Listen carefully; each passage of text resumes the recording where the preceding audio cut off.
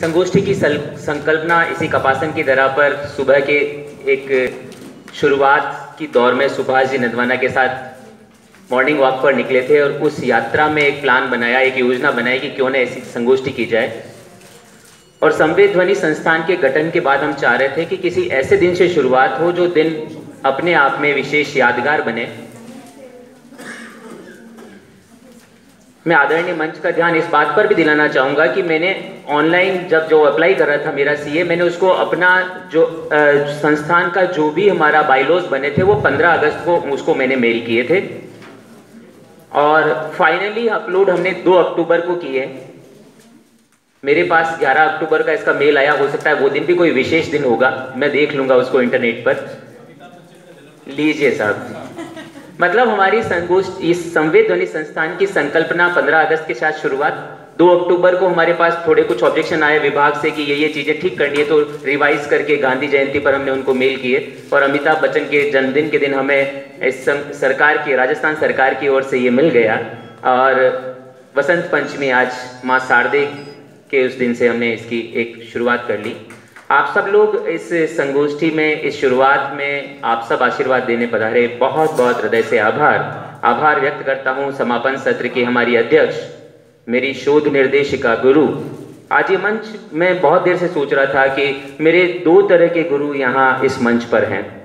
एक वे गुरु, जो कि रिकॉर्ड में हैं। विश्वविद्यालय के, मेरे उसके सारी चीज़ों के।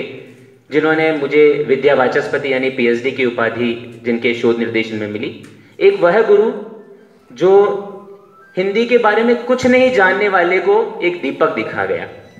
बीए तक मैंने हिंदी नहीं पढ़ी और मैं अखिलेश शास्त्रा जी के पास यूँ ही चला गया बीए होने के बाद कि भाई साहब, मुझे क्या करना चाहिए? कुछ समझ नहीं आ रहा।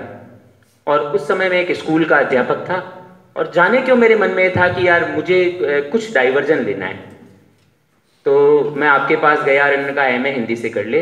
और उस समय से पहले हिंदी नहीं पढ़ी थी, ये शुरुआत आपकी दी हुई है। तो एक तरह से हिंदी का मार्ग प्रशस्त करने वाले और आगे के मुकाम तक पहुँचाने वाले दोनों गुरु आप यहाँ उपस्थित हैं। मैं दोनों को हृदय से प्रणाम करता हूँ।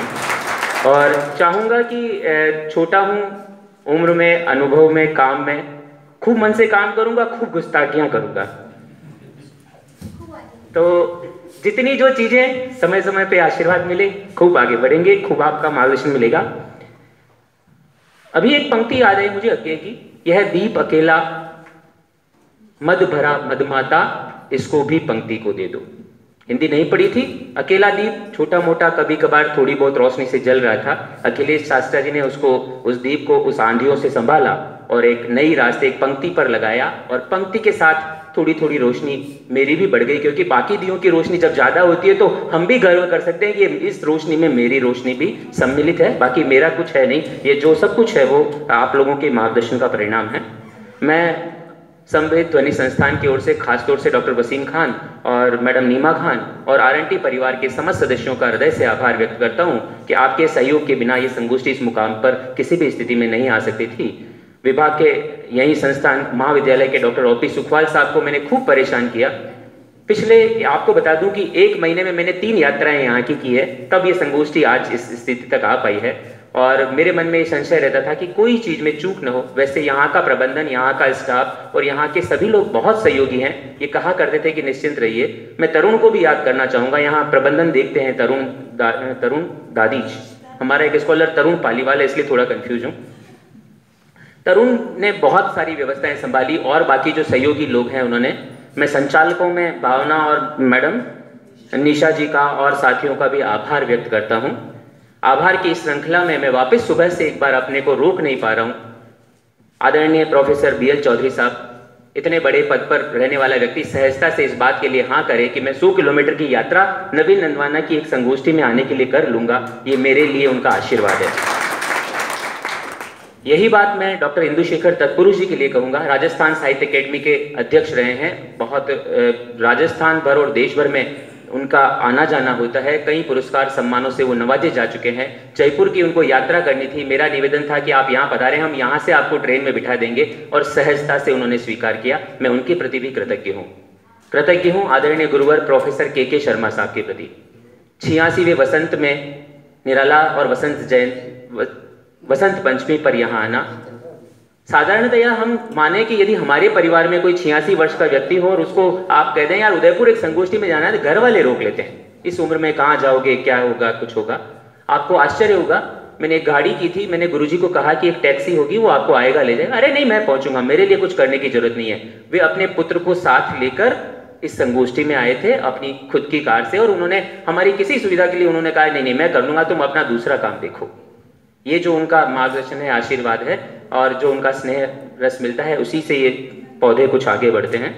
डॉक्टर वसीम खान और नीमा खान जी का और सारे साथी गणों का विभाग में हमारी ये संगोष्ठी के बारे में चर्चा, राजकुमार व्यास जी, नीता जी, दो साथी हमारे आज किसी कारण से यहाँ नहीं पहुँच पाए, दोनों किसी कोर्स और किसी व्यक्तिगत प्रोग्राम में हैं।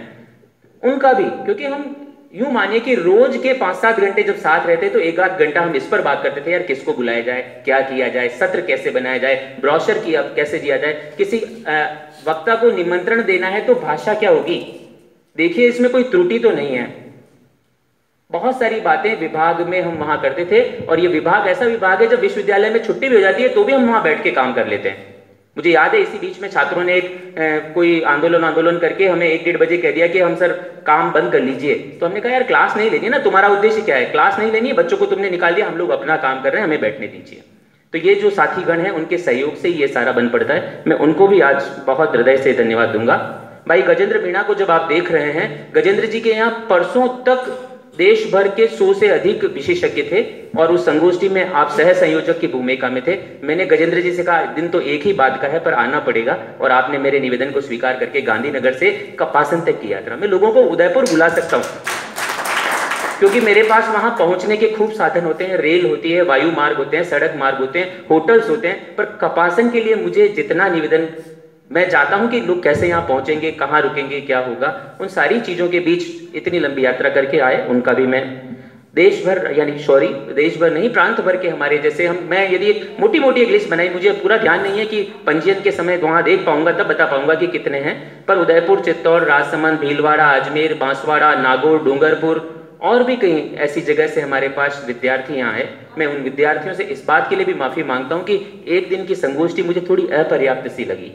क्योंकि उन विद्यार्थियों के जितने पत्र यहाँ पढ़े जाने चाहिए थे, वो समय हम नहीं निकाल पाए।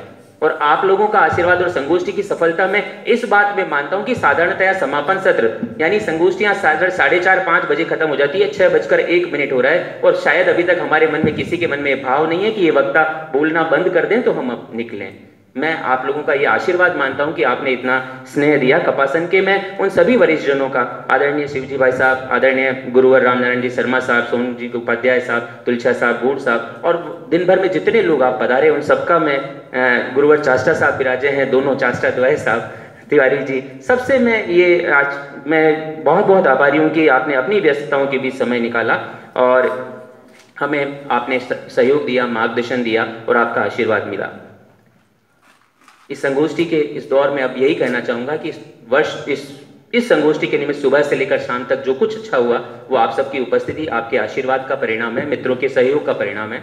यदि कुछ ठीक नहीं लगाओ किसी भी चीज़ को लेकर, किसी सत्र, कोई बात, कोई विचार, कोई सुविधा, आवागमन इत्यादि जो भी चीज़ों में कुछ कमी रही हो तो मैं वो स्वीकार करता हूँ। हमें आपके सुझाव मिले, हम कोशिश करेंगे कि हम जब कभी, जहाँ कभी कुछ और संगोष्ठी करेंगे तो उन असुविधाओं को, उन बातों को दूर करेंगे और बेहतर करने का प्रयास करेंगे। मैं पत्रकार बंधुओं का बहुत आभारी हूँ। साधारणतया इतना समय लोग नहीं दे पाते। आपको मैं भंडारी साहब को और मित्र को, दोनों को सुबह से आज हमारे बीच पाकर मैं बहुत खुश हूँ कि आपने दिन भर आज हमारे साथ रहकर हमारा हौसला बढ़ाया। हमारे दो तीन शोधार्थी, चार शोधार्थी जैसे बिरमाराम हुआ प्रेम शंकर तरुण हुए, ये मनीषा और विद्यार्थी अपना मैं भूल रहा हूँ नाम, भरत, भंवर आदि हमारे कई विद्यार्थी कई दिनों से लगे हुए थे, क्योंकि संगोष्ठी करना एक विवाह करना जितना होता है। घर में एक विवाह समारोह करा लीजिए, एक संगोष्ठी करा लीजिए। कई तरह की बातें, कई तरह की तैयारियाँ और मन में एक संशय हर समय रहता है कि कुछ ठीक होगा या नहीं। ये मेरी पहली संगोष्ठी भी नहीं है। मैं इससे बड़ी संख्या की संगोष्ठियाँ करवा चुका हूँ। सो, छोटी सी एक जानकारी के लिए बता दूँ कि वर्ष 2016 में उदयपुर के एक संस्थान के साथ हमने संगोष्ठी की थी और मैंने उसमें, उस प्राणपण से हम लोग विभाग के लोग लगे थे कि 14 राज्यों के लोगों की उपस्थिति थी। और वो 14 राज्य केवल राजस्थान या उसके पड़ोसी राज्य नहीं थे, उसमें मणिपुर, केरला, हैदराबाद, गोवा तक से हमारे पास प्रतिनिधित्व था। पर मन में हर समय संशय रहता है कपासन की धरा पर काम करने में संशय और ज़्यादा था। क्योंकि मैं जब अपनों के बीच में आ रहा हूँ और यहाँ कुछ गलत करता हूँ तो मन में एक डर बैठा था कि हमने यहाँ लिया है तो मैं यहाँ कुछ ठीक कर पाऊँ। नहीं पता मैं क्या कर पाया। आप सब लोगों का आशीर्वाद मिलेगा, मार्गदर्शन मिलेगा, और हम आगे और कुछ ठीक करेंगे। इसी आशा के साथ मैं हमारे हिंदी संस्थान के अशोक जी कुमावत, मदन शर्मा जी और सुभाष जी, जिन्होंने यहाँ की यूनिट का लगभग सारा काम उन्होंने संभाला। मैं उन सब का आभार, मैं किसी का नाम भूल भी रहूँगा थोड़ा भावुक भी हो रहा हूँ क्षण में। तो राम सिंह जी, मुझे आप माफ़ करेंगे क्योंकि आपका नाम ही भूल रहा था मैं।